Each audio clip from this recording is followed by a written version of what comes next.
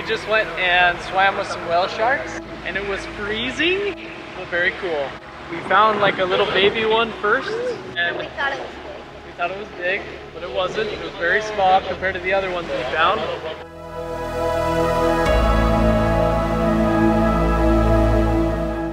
They swam pretty darn fast.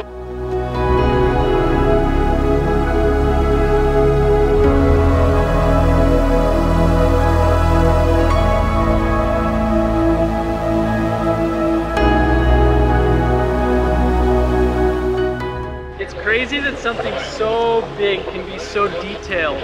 Every little spot and line is just so pretty.